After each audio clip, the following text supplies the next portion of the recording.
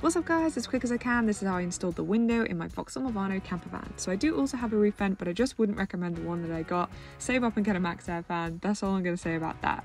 The window is from Just Kampers, they're van specific and you just choose the style that you want. I wanted the one that could be opened and then I went to the farm to get my dad to help me to install it. So we spent a long time mapping it out and measuring exactly where the hole needed to be cut. I even made a cardboard template to double, triple, quadruple check.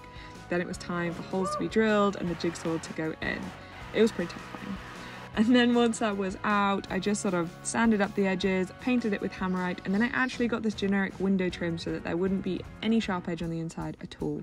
And then it was time for the window to go on. So the kit comes with a primer, you just dab it all the way around on the bare metal, it helps the silicone to stick, so dad popped a bead of silicone all the way around, and then we lifted the window up, and then popped some tape on the top to stop it from slipping while it dried, and that's that. Hit subscribe if you want to see how the rest of the build came together.